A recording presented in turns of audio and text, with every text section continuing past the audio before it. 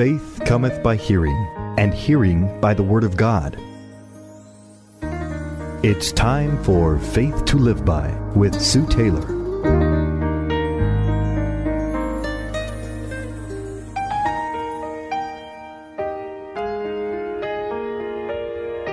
Thank you for joining me today on Faith to Live By. This is Sue Taylor.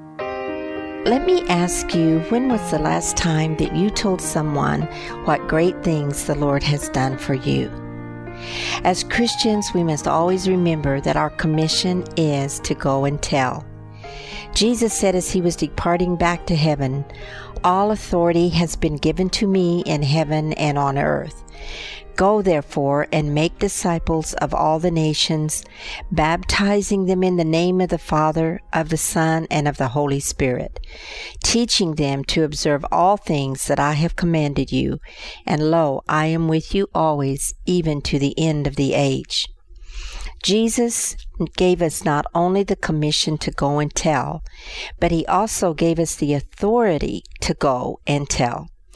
As we go and as we tell, we make disciples for the kingdom of God, which pleases the Father and brings glory to Him. And it should bring great joy to our hearts as well. Many times we feel afraid or timid to speak about the Lord Jesus and what He has done and is doing in our lives. But, beloved, remember that fear is not of God, for He has not given us a spirit of fear, but of love, power, and a sound mind.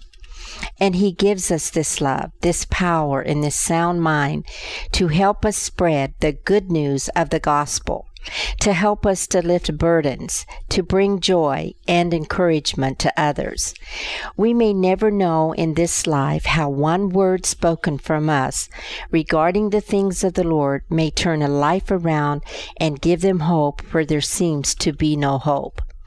One of the ways that love and joy is perfected in our lives is to go and tell. Jesus said, You did not choose me, but I chose you, and I appointed you that you should go and bear fruit, and that your fruit should remain, that whatever you ask the Father in my name, he may give you. We have the authority to go and tell because Jesus chose us to do just that. He not only chose us, but He appointed us to bear fruit. The words of our lips can bear much fruit when coupled with the loving favor of God and obedience.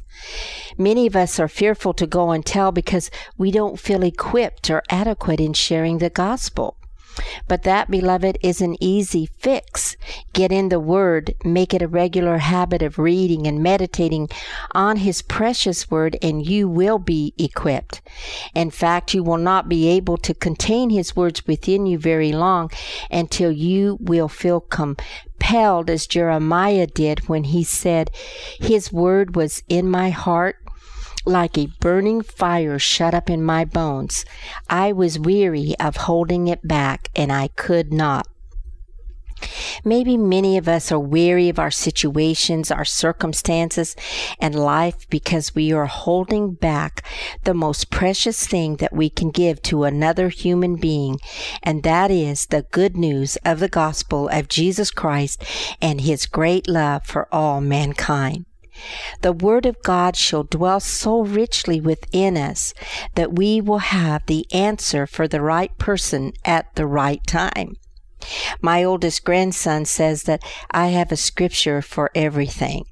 I cannot help but let it out when needed because it is in me. And beloved, what is in us will always come out of us. Let me admonish you today not to neglect the Word of God to read it, to get it down in you and use it when necessary. I do want to say use wisdom when you use the Word of God. God wants it to be effective, and Scripture tells us that a word fitly spoken is like apples of gold and pictures of silver. This means that a word spoken at the right time in the right circumstances is as precious, beautiful, and suitable as the combination of precious and beautiful metals. It will leave an impression on the heart of the one to which it was spoken. Beloved, you don't have to hold a degree in theology to go and tell.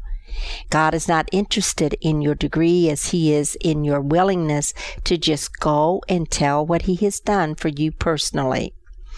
I will never forget while living in Portland, Oregon several years ago, while stopped at a light, an elderly woman with a cane pecked on my window and asked for a ride. I led her in and asked where I could take her. She directed me to the address of her destination, and while I continued to talk to her, she told me how she hitchhiked to spread the gospel of Jesus Christ. I asked her, Aren't you afraid that you may get in the wrong car with the wrong person? She promptly told me, Honey, the fear of man only brings a snare, but he who trusts in the Lord shall be safe. This woman was in her 80s. Now, I am not recommending you to hitchhike today and get in vehicles with total strangers, but I am recommending that whenever you have the chance to spread the good news of Jesus, do not be afraid to do so. We all have our gifts, our talents, and our abilities and our callings. Let us use them for the purpose of spreading this great love of Jesus Christ. Let us not be afraid and hide our talents in the ground, as told in the parable of Jesus. He said, For the kingdom of heaven is like a man traveling to a far country, who called his own servants and delivered his goods to them. And to one he gave five talents, to another two, to another one, to each according to his own ability. God knows us so well and knows what to entrust us with. And then it says that immediately he went on his journey.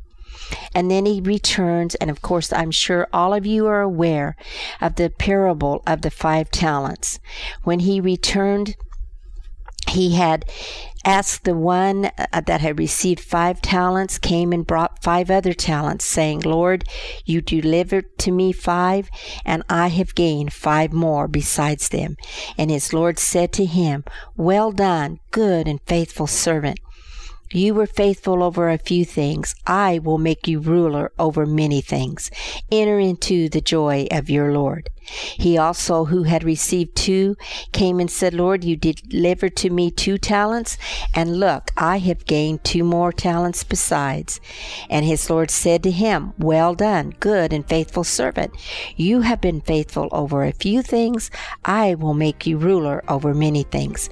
Enter into the joy of the Lord. And then he who had received the one talent came and said, Lord, I knew you to be a hard man, reaping where you have not sown, and gathering where you have not scattered seed, and I was afraid. And I went and hid your talent in the ground. Look, there you have what is yours. But his Lord answered and said to him, You wicked and lazy servant, you knew that I reap where I have not sown and gather where I have not scattered seed. So you ought to have deposited my money with the bankers, and at my coming I would have received back my own with interest. So take the talent from him and give it to him who has ten talents. To everyone who has, more will be given and he will have abundance, but from him who does not have, even what he has will be taken away. Beloved, we lose what we don't use. The Lord will never ask more of us than we are capable. He knows how to disperse His talents to each person. Jesus is coming back. He promised, and He always keeps His promises. And when He returns, He asks the question Will I find faith on the earth? It takes faith to go and tell. It is the great commission to just go. Not how much we can do, but did we try to go and did we tell? This is faith to live by. You've been listening to Faith to Live By with Sue Taylor. If you would like to write with your comments or to request a copy of this program for an $8 donation, write Sue Taylor 10827 Highway 86 East, Neosho, Missouri 64850. Sue Taylor is a member of the KNEO team and a keynote speaker at several church and women's events throughout the four state area. To book Sue for your next event, contact Sky High Radio at 417 451 5636. Never miss your favorite show again. For more than 30 years, KNEO has been bringing you great Bible teachers on a local and national level. And now, we've made it easier than ever to hear from these great men and women of God. KNEO's entire lineup is now available to listen anytime, anywhere through our website. Go to kneo.org slash podcast to see all the options. You can search for programs alphabetically, or you can select individual categories like culture, kids, leadership, or music. We even have a category just for locally produced programs, so you can hear from pastors and spiritual leaders located right here in the four state area. And all these resources are absolutely free. KNEO's mission is to get God's Word in front of you, and this is one of the ways we do it. Give it a try today. Go to kneo.org and click on the podcast tab to get started.